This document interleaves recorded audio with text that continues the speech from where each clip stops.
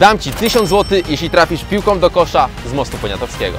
Dobrze usłyszeliście, to nie jest żart, zaraz do tego wrócimy i oddam rzut, ale na początku poznajcie zasady tego odcinka. W dzisiejszym odcinku Kuba i Haczyk będą mieli do wygrania nawet 10 tysięcy złotych. A kto wie, może i 20 tysięcy złotych. Ich zadaniem będzie oddać celny rzut do celu. Jak trafią, wygrywają kasę. Jak chybią, to dorzucam 1000 złotych i kolejna osoba może wygrać siano. Odcinek kończy się w momencie, jak ktoś trafi do celu i zgarnie skrzynię z pieniędzmi. Warto zaznaczyć, że wysokość z jakiej będzie rzucał Haczyk piłką to jest 20 metrów. Haczyk, czas na Twój rzut. Do wygrania jest 1000 zł, jeśli nie trafisz, to Kuba w kolejnym wyzwaniu będzie miał już 2000. Gotowy?